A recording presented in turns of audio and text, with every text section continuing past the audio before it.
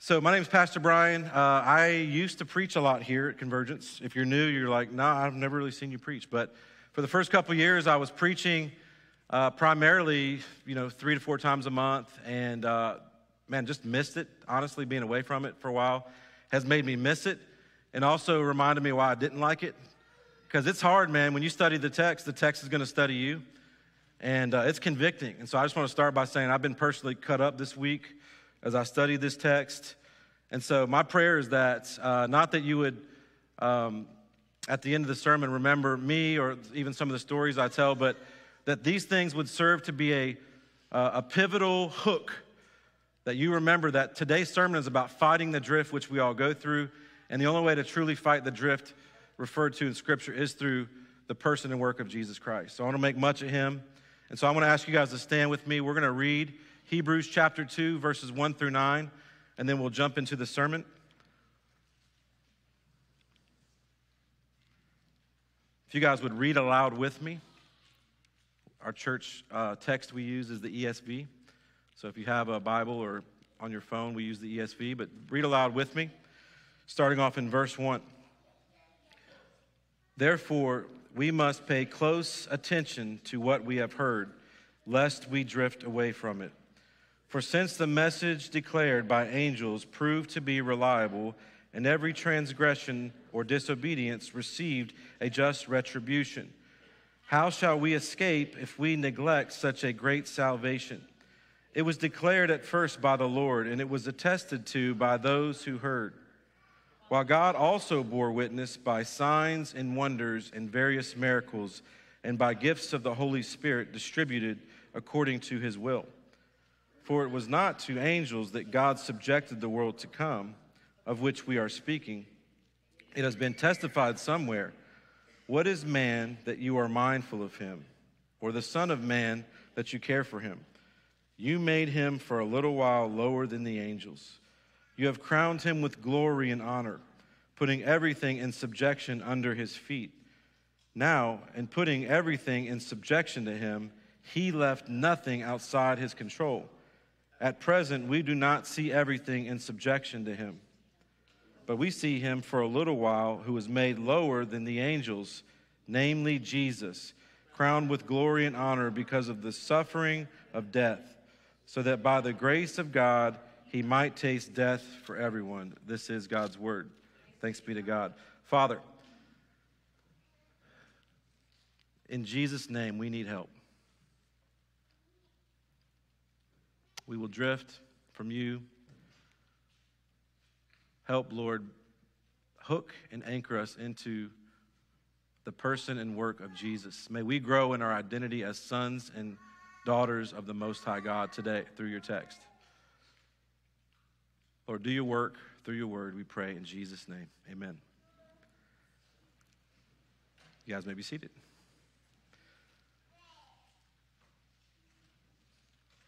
Things will drift in life. Things will drift.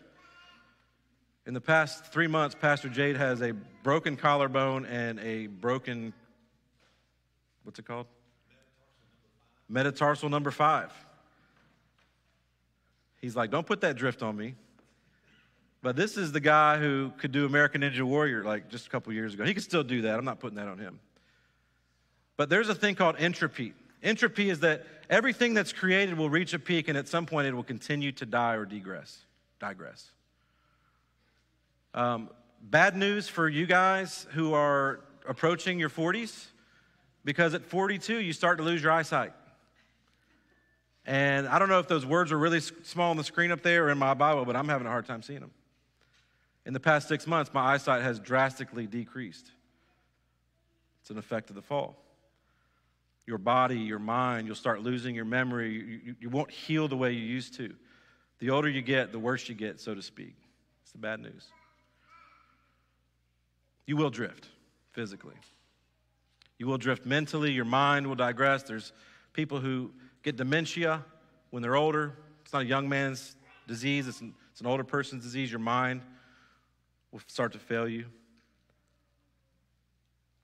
And so I want to ask the question what do you think of? What, what comes to mind in your mind when you think of the word drift? Anybody? What do you think of when you think of the word drift? River. A, a car back. Yeah, drifting a car. I thought that we'd get some Fast and the Furious fans in here. Yeah, something just being swept away by the current, right? Whether it's a river, some sort of body water. That's, that's the premise for what drifting, the, the verb drifting means. It's kind of swept away. And so I want to show you guys a picture of a young man named Aldi Adilang. Everybody say Aldi Adilang. He's got a cool story. He has a grocery store named after him, too, apparently. No, no Aldi shoppers, apparently. Um, so, Aldi Adilang is a young man, and he uh, was at the time in 2018, he was 19 years old. And this picture of this, it's called a fishing trap. It's actually called a rompong. Everybody say rompong. I'm making you learn these words because I had to learn them. I wanted to like make sure that everybody else knew them. So this is a rompong. And what a rompong is, it's a it's not a fishing boat, but it's basically a fishing trap. That's what they call it, a fishing trap. And what they do is they in Indonesia they put these fishing traps like a mile off the coast, and someone will stay on this fishing trap for for anywhere from a week to like 6 months. And basically they're harvesting an area where the fish are just coming up. And then someone will come out to the fishing trap uh, to come and get the fish. And they'll take them back and we'll enjoy them, right? But so this guy, Aldi, Adilang, Aldi Adilang, um, he was in this, this fishing trap called a rompong. And this thing's drifted a couple times. So, so before the story starts, this boat already drifted away twice. Um, this boat would have, or I don't want to call it a boat, this raft trap, rompong, it's attached to an anchor at the bottom of the, the seaboard, the seafloor, and it's already drifted twice. The first time it drifted for a week, and Aldi got uh, picked up by somebody and they brought him back. The next time it was two days. And this third time, the person who owned the raft trap, the, rom, the rompong, said, Hey, we're going to make sure to give you a two way radio, just in case, because this thing's got a history of drifting. And so I want to ask you the question first and foremost why did this rompong drift? Why did it drift? It wasn't attached to the anchor, it became dislodged or untethered to the anchor. And so in life, we will experience two kinds of drift in our normal life, our spiritual life. One is natural. If you're a Christian in this world, you will drift because of the course of this world. There's a natural drifting that exists that affects our supernatural ability to be tethered to Jesus. And the other is when we are actually seeking to move away from our target. If, our, if we're tethered to Jesus, we will intentionally go away and pursue other things. Today's sermon's primarily going to be speaking towards our spiritual drift that just happens by living in this world, okay? And so in your books and your ESV, there might be a title at the beginning that says, A Warning Against Neglecting Salvation. That's kind of the premise of Paul's message, or excuse me, not Paul, the writer of Hebrews who might or might not be Paul. I actually don't think it's Paul after studying this. But whoever the writer of Hebrews is, he's, he's trying to warn the church. They were facing persecution, they were facing um, odds which would have led them to want to drift back towards Judaism. And so the writer here is trying to tell them not to neglect their salvation, not to drift, which leads me to my first point. We need to fight the drift because it will happen. We need to fight the drift because it will happen. So it's not a matter of if it will happen, but when it will happen. And so this message for the church was not just a message like, hey, some of you might drift. It was really a, a reminder that you will drift. And so I want to be really clear today, in love, to, to speak to those of you today who might be drifting. Those of you who have experienced some spiritual dryness, those of you who may be in a season where you're not enjoying the word or the fellowship of the brethren, this message is for you. This message is for you.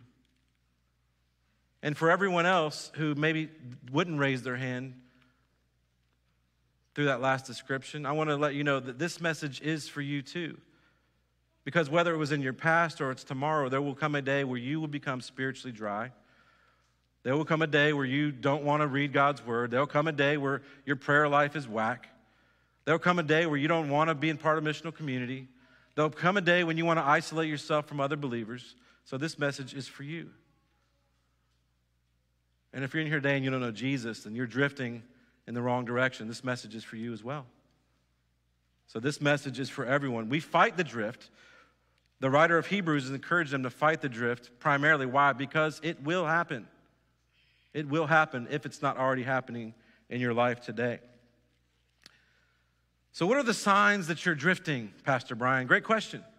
Came up with a slide and some answers I'm going to show you. These are some signs that you are drifting. These aren't all the signs, but here are some signs that you are drifting.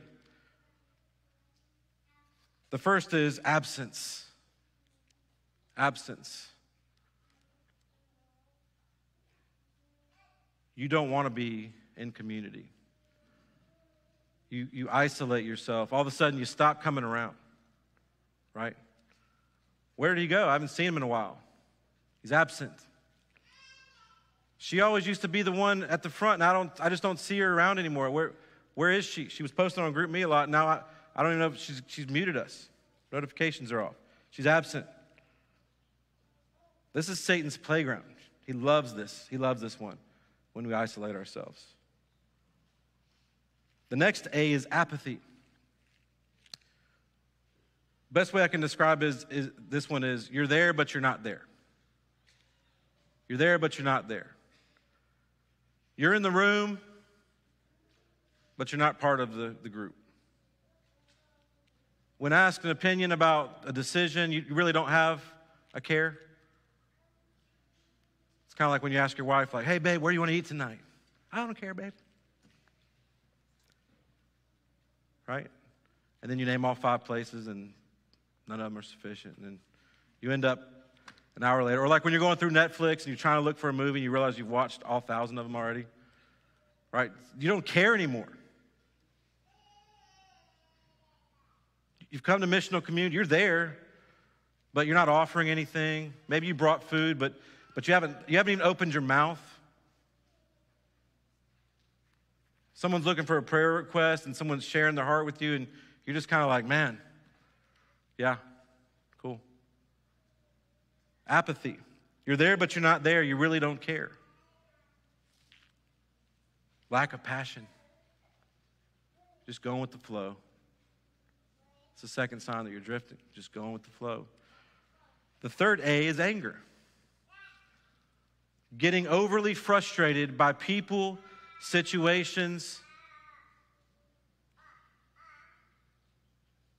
Your level, your level of anger doesn't quite match the level that you should be. Fr- There's frustrating things that happen in the world, but your level of anger is up here. People and situations, missional community, coming to church on Sunday causes you displeasure. You hate it You start hating people, you start resenting the community, you start bad mouthing the pastors, the church, maybe your wife, maybe your kids. Angry. It's a sign of spiritual drift. And last, which there's many more, but this is just the four I decided to touch on today. The fourth is anxiety. Anxious. The Bible says, be anxious for nothing. And yet, if we've seen anything in 2020, should we wear a mask? Should we wear a mask? Or will we meet? Why aren't we meeting? All these things have caused people great levels of anxiety. Pastors are leaving the churches at alarming rates. More pastors quit in 2020 than any other year in like the past 100 years, the percentages. Less people are attending church than ever before.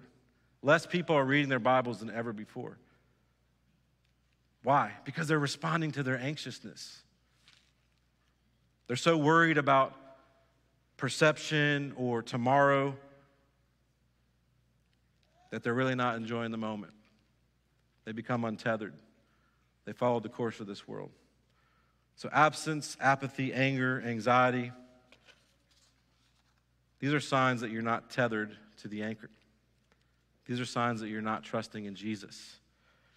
And I just want to just tell us listen, I say this every time I preach, but this is not a message of condemnation, but a call to courage a call for you to be courageous, right? All these things I just described describe me at any given day. Maybe it's describing you. Our brother Aldi, the, the, the, the trap fisherman, when he, when he started drifting from sea, he had a week's worth of food. So, spoiler alert, he got rescued on day 49. Okay? But he had a week's worth of food and water. He had a, a little gas generator.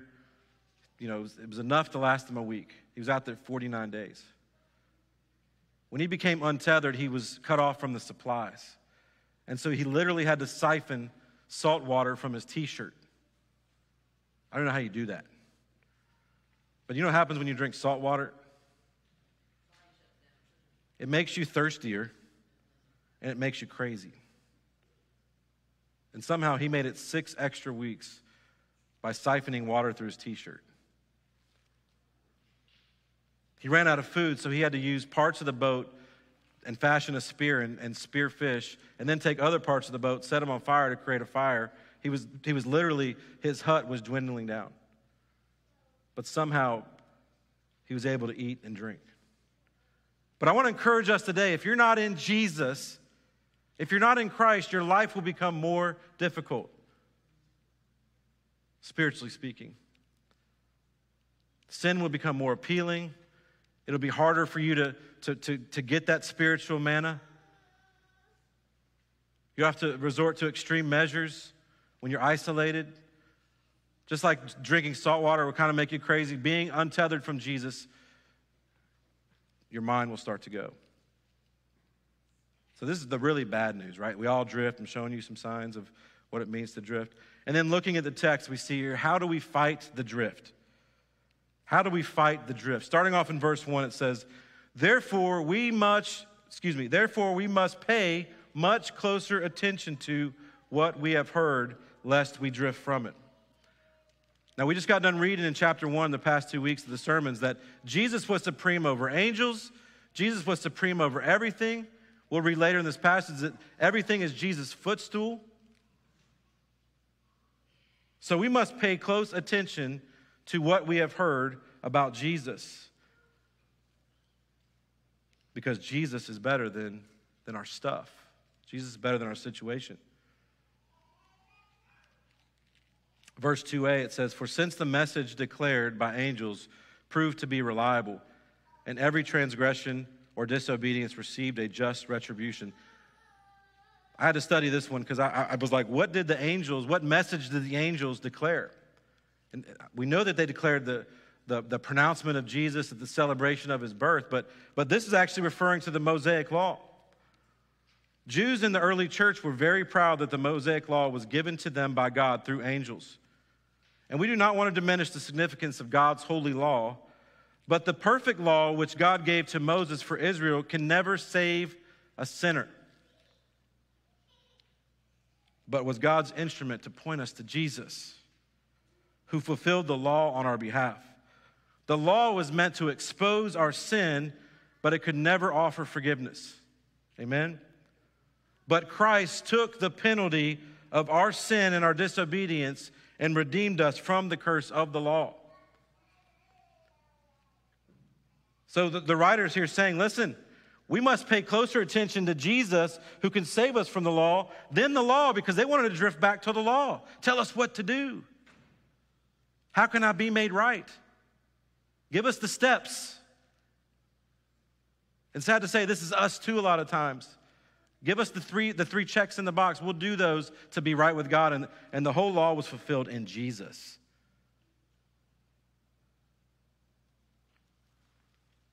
And verse 3 says, How shall we escape if we neglect such a great salvation?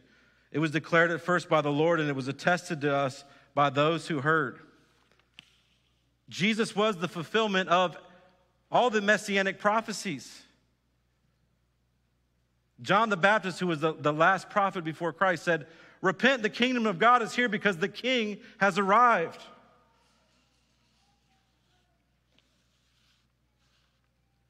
The law cannot save you.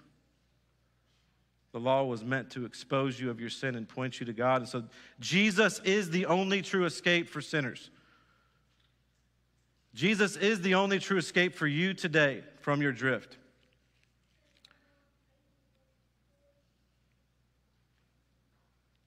So, my question today is Are you trusting in yourself? Are you trusting in your good deeds? Are you trusting in your obedience to the law? Or are you trusting in Jesus?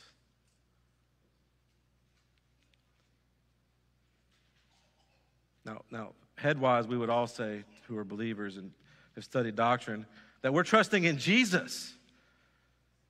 But practically speaking, the way that we live out our lives, I believe that we drift towards works based righteousness. That's why you feel condemned many times, because your performance doesn't add up to the expectations. I'm not talking about Holy Spirit conviction. I'm talking about you not obeying the law and then leading to a, feeling of, Am I saved? Have I done enough? Or if a brother sins against you, well, no, I'm not even sure if he's saved. It's like, dude, he, he's not saved because He's a pretty good dude. He's saved because of Jesus Christ and his work on the cross. And so there may be someone in here today who is still under the penalty of the law. You've yet to receive the righteousness of Christ. The law is perfect to point out your transgression and disobedience and therefore offer you a retribution, which is the penalty of your sin. So if you're here today or anyone listening on this message and you've yet to receive the grace and love of the Lord Jesus, you will suffer the full wrath of God. That's what your sin deserves. You will be crushed for all eternity. You will drift into entropy. It'll be a, it'll be a nonstop death for you for all eternity. It's what the Bible calls hell. You can't escape. You can't work your way to God and you can't prove to God how great you are because you're not good enough and your works will never add up. So if you're in here today and you have yet to receive the grace of the Lord Jesus, my call for you today is to repent. To trust in the one that the scripture is pointing to, the only one who can forgive you of your sins. This is my, my call, my cry to you today. Repent. Believe in the King, receive righteousness, and your retribution will be grace instead of wrath. Verse 4 says, While God also bore witnesses by signs and wonders and various miracles, and by gifts of the Holy Spirit distributed according to his will. Listen, God himself bore audible witness to the truth of Christ's messianic role, as did our Lord's own life and ministry, so that we might believe Jesus is the Christ, the Son of God. And that in believing, we would have life in his name. Christ's own disciples also bore witness to the testimony and truth of God's word, which was further validated in Acts chapter 2 at Pentecost, when the hearts of many men were pierced with the shocking truth that the one whom they crucified was both Jesus, Lord, and Jesus Christ. The person and work of Jesus was testified by God the Father and was validated by the prophesied messianic signs, wonders, and miracles that Jesus himself carried out in his life and ministry, and which continued and still continues to this day in this church. And in God's grace, this testimony is also displayed in our own lives. We do the, the, the 30 second testimony before Christ, I was this, this, and this. Jesus came for me, and now I'm this. This is a, this is a miracle. This is a miracle. Right? This is a miraculous deed of God to take someone from the grave and resurrect them. If this is your story, then God's continuing to validate his own work, just like he was talking about here in verse 4.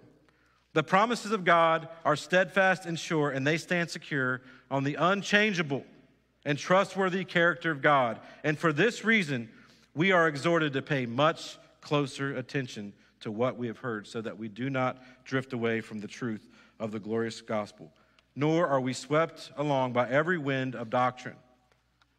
So, the emphasis here, guys, the emphasis here, church, how do we fight the drift? How do you fight the drift? You need the Word of God preeminent in your life. We were just reading Psalm 119 yesterday. It was like, I'm going to meditate on your Word day and night. Do you meditate on His Word day and night? I don't. That's why I was cut to the core this week. If I'm going to remember how to fight the drift, I must know who I am and where I'm going. I must know who God is and what He's done. There is a strong emphasis on the Word of God.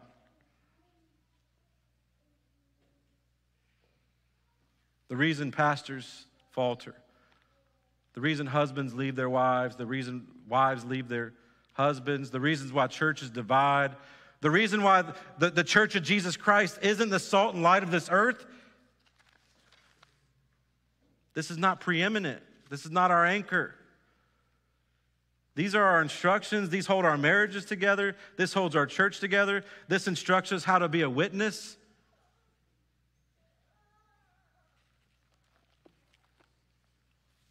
Jesus said, if you're going to love Him, we must do it with all our heart, soul, strength, and mind. This is like everything, right? This is experiencing God. And there's, there's an emphasis here in the scripture that we will we will experience God through the way the things we hear, the things we see, we'll pay attention. Right? So I just want to give a personal emphasis. Pay attention to what God's doing and enter into it. God, do you believe God's working in your life? Do you believe He's working through you?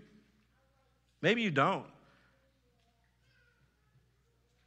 If that's the case, like you're never gonna you're never gonna see God do any good things in your life because you don't even think He's working in your life. If you've been born again, you have the Spirit of the living God. The third person of the Trinity exists inside of you. The third person of the Trinity who was present at the moment of creation. The Spirit of God who created the heavens and the earth. The Spirit of God who created moms and, and reproductive systems. Created your eyeball.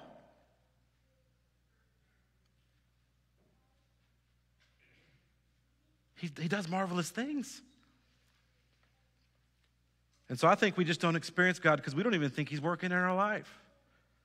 Because we don't have a, we don't have a life that depends on Him.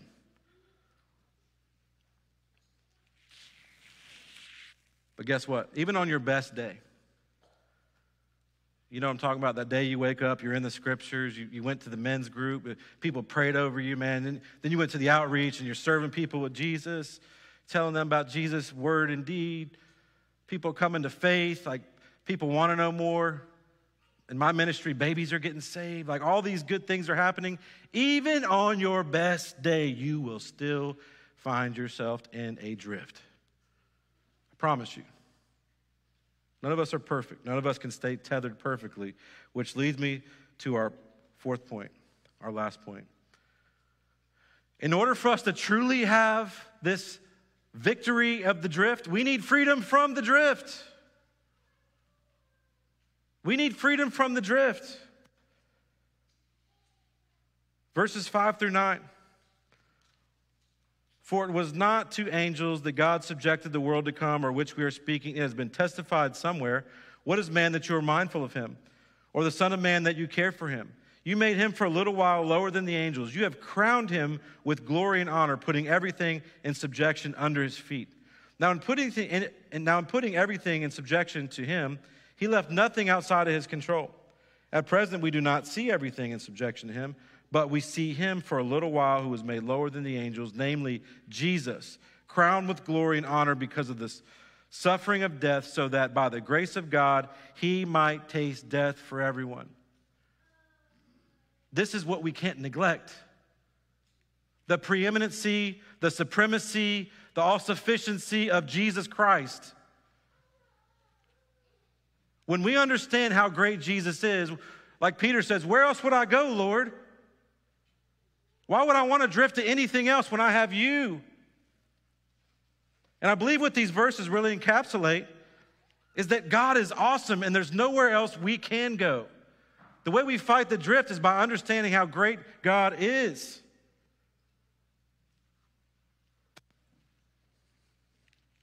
Jesus is greater than the angels all through the scriptures, and we said it earlier, they, they valued the fact that the angels validated the Mosaic law. When you see the angels appear, if an angel showed up here right now and stood on this stage, like I'm imagining like an eight foot tall angel with a sword, like glowing or something, Like we would all fall flat on our faces because in the Bible, every time an angel showed up, what did people do? They got scared because the very first word out of the angel's mouth was, Don't fear. So the angel could read, Hey, this is freaking them out a little bit, right? This is freaking them out a little bit. And, and, and the writer here is saying, Listen, Jesus is way greater than that. And his word's been revealed in him and through him. And now we have his written word. When's the last time you dropped to your knees when you're reading your scriptures? That's not common. Right? I love the video of the people in like some weird tribal place. I'm not even sure where it is. But they get a box of Bibles and people are freaking out, man. They're like bursting the box open, holding Bibles, sniffing the pages, the, the leather bound, or maybe it was even. I don't know what it was. They were so grateful to have the Word of God. Dude, I've got like 15 Bibles in my office. That's almost irreverent. Because I have a hard time reading one. And so I don't think we revere this as like, man, we, we, we want something else. Give us the new Jason Statham movie. Give us the new workout. Give us the new Joe Rogan podcast. We, we need to learn more. It's like, dude, this thing's all sufficient. Why don't we revere this? Why don't I revere this? Am I alone here? Does anybody else struggle just, just reading your Bible? Maybe, maybe I should just walk off right now and let someone else come up who's actually has a good life in the Word. I struggle reading this thing. I didn't read books till I got saved. That's why Christian people laugh about Christian hip hop music. Oh, that's not really relevant. Dude, that, that's how the scriptures got poured out to me because I had a hard time reading. And now that I'm going blind, I have a hard time reading. I listen to the Word of God every morning on our CBR app, but I'm telling you, it's a struggle. My flesh doesn't, my flesh says, I'm good, I don't need that. And after I read it, I'm like, why didn't I read this earlier? I've struggled with sin, and then later in the day, I'll, I'll go to my scriptures like, this spoke to the very sin that I struggled with.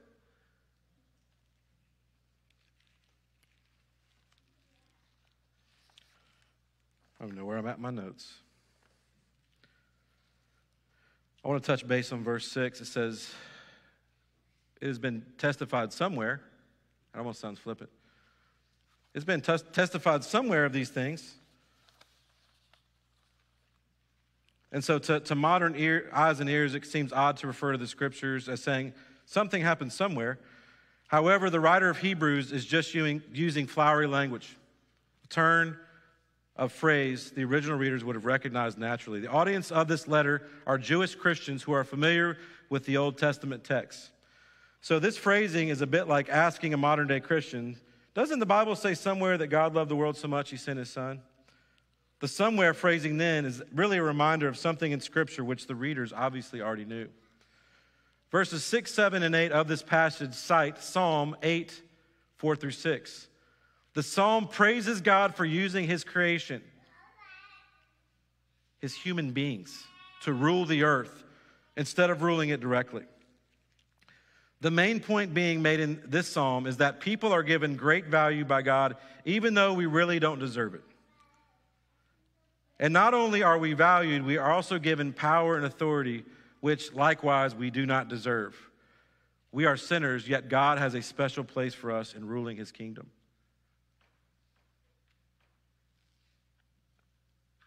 The writer of Hebrews is applying this idea to Jesus. God created mankind, gave them power and authority despite their sin.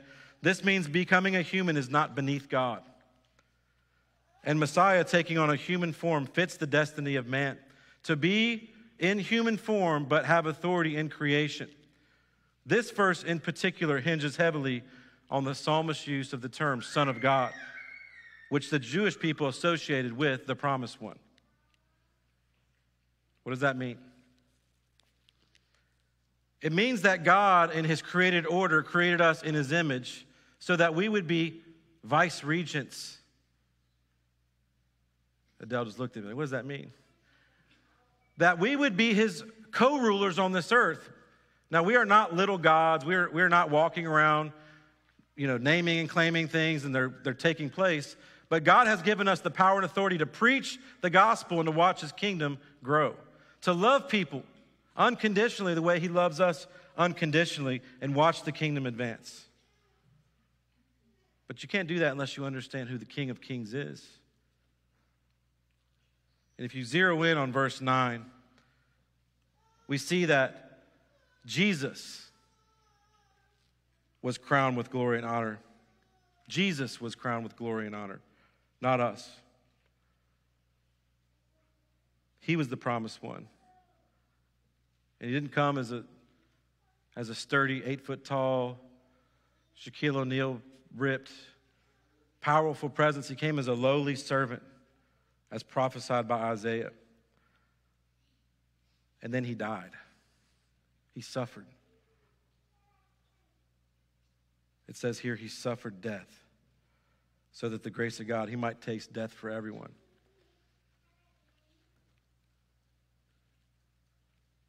He suffered for you, he suffered for me. His suffering was not in vain. His suffering wasn't just for suffering's sake, his suffering was producing something. His suffering was foundational. Without his suffering, without his body going to the cross, without his blood being spilled, we would have no forgiveness. And so today, if you're suffering, I want to let you know that your suffering is not in vain. If you are in Christ, your suffering is not in vain.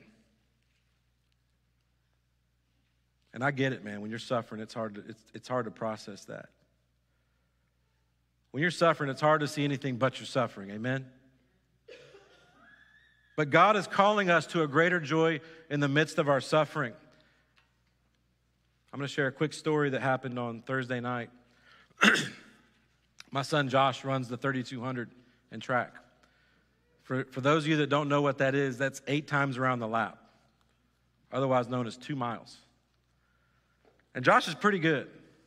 He's in ninth grade, and so he's, I think he finished fifth right? There's one kid who, every race, man, he is like way ahead of everybody else. And every time this kid came around the track, I saw this woman grab her camera and follow him around and root him on. And she was, root, it's your race, run for Jesus, run for Jesus. And then it struck me about the third time around, she just kept telling him, enjoy it. Enjoy it, Adam. That's his name. Enjoy it, Adam. Enjoy this race. It's your race. God created you for this. Enjoy this race. And he won. And he won by a lot. And I stood at the finish line as he crossed the finish line. You know, the very first thing he said was, I was cramping the whole time.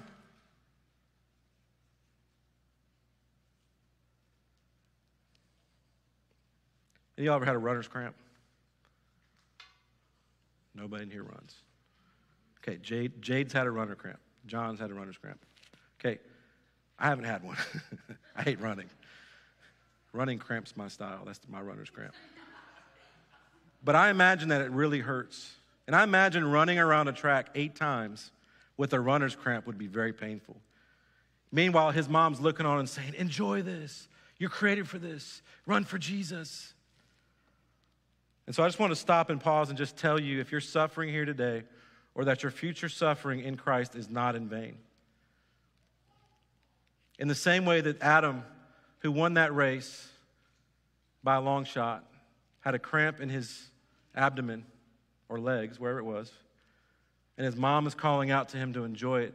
I believe God the Father is looking on us today and saying, Enjoy your life in the midst of suffering because I will not waste this. Whatever race you're running, no matter how cramped you feel, if God is with you, He's going to turn it for ultimate glory. And it may hurt, it may cost you your life. The way God advances His kingdom, primarily in scriptures, is through people's suffering.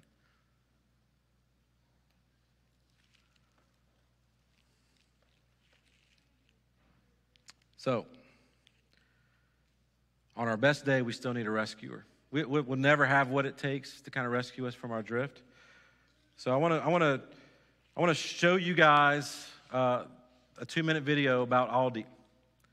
And I want you to pay attention and look for some like restorative biblical themes because we are all desperate sinners who need to be rescued because each one of us is drifting. So if we have the video and the audio, which I really hope we do, if not, I'm be super bummed out. Do we have this ready? Audio's good? All right, let's show this video. Look, when, when you when you watch the Good Morning America clip of this, they're not telling you any of this stuff. They're not telling you about a young man who was suffering sharks beating in his raft, and the only thing you have was the Word of God.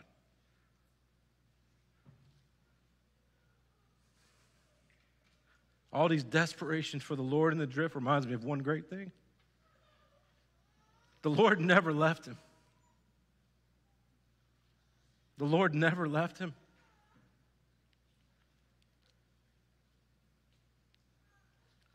Aldi had to open his word to receive the blessing of God, to understand the presence of God in his life. Praise God, he had a Bible. Like, if you're going to be stranded on a fishing trap hut for 49 days without this, like, this is probably the only thing that saved him. He was dependent on the word, worship, and prayer. There, there's something about this story that's truly significant and missed out on is that, I mean, we can't even fathom 49 days in isolation.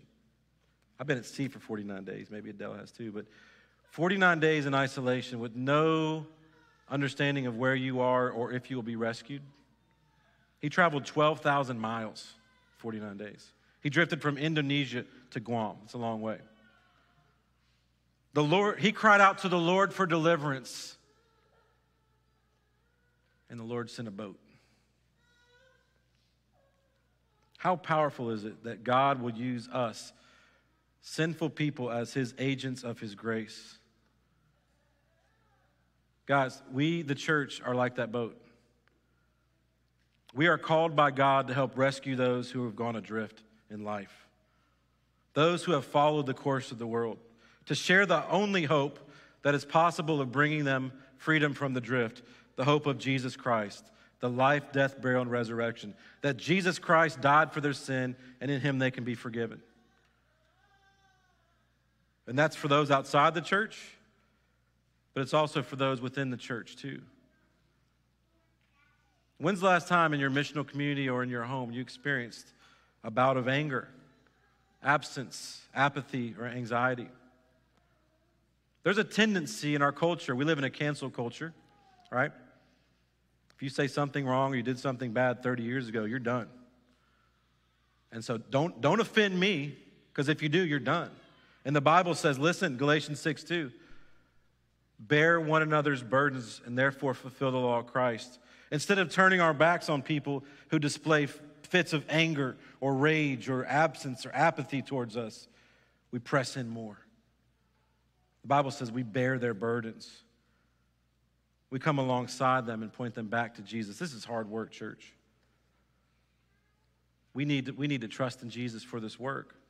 So the only solution to drifting can be summed up in one word abide. Everybody say abide. Try to make sure people are still awake. Abide. When we think of abiding in Jesus, it's important for us to remember our identity, who we are in Jesus. In doing so, we must remember who Jesus is. And there's something powerful when you read through the Gospels and just watch the way Jesus moved through the world. He had a certain confidence in knowing who he was and where he was returning. That helped him stay tethered to the mission. He knew who he was and where he was going. And therefore, for us, it helps us to know to whom we belong and to whom we will return. I believe the reason many of us go adrift is because we've, we've traded the riches of heaven for the, the scum of the earth. We're too consumed with our creature comforts than we are with the eternal glory of God. And so your identity is not in your stuff, it's not in your, your situation, it's not in your relationships. Your identity is in Jesus. And it will do well for our souls to remember who we are in God. And I'm going to end with this story. In calling us to abide, I'm calling us to remember our identity. I heard a story recently of a young pastor who was visiting an old man who was senile, basically. He was suffering from dementia and a bunch of other diseases and sickness in an old folks' home. And this young pastor went and he, he reminded him of this truth. Hey, brother so and so, man, you just need to remember who you are in Jesus. Remember of God's faithfulness and his promises. And the old man looked to the young pastor and he said, The beauty of my relationship with, with Christ is even when I forget him, he still remembers me. Even when I forget him, he still remembers me. Church, this is the powerful truth of the abiding love of God is that even when we go adrift, God's Spirit never goes adrift in us. He will never forsake us, He will never leave us, and He will abide in us and through us. Let's pray. God, there's too much in this world competing for the attention and affections of you. And so, Lord, I pray, whether it's the story of Aldi or something through this sermon, that you would help your beloved bride grow in the image and likeness of Jesus. That you would refine us, that you would remind us that this world and the things it has to offer is perishing, it's passing away. And we have a better king and a better kingdom that we get to be a part of. Help us, Jesus, as, as the song says, our hearts are prone to wander. Help tether us to you, Lord. Lord, it starts with me. I know other brothers and sisters here are struggling, suffering. God, would you remind them that in the midst of their suffering, Lord, to abide and trust in you? You are advancing your kingdom through us, Lord. Lord, I pray that as the culture that we live in wants to destroy the witness of the church, wants to silence us and mask us, Lord, so that we won't share the gospel, that we'll, they'll cancel us, Lord, if we don't do what they say, Lord, that we would remember that this earth is not our home, that you're coming back, you're coming to make all things new. And so may we be about the Father's business by remembering who we are whom we belong to, and to whom we will return. Help us fight the drift for your glory. In Jesus' name, amen.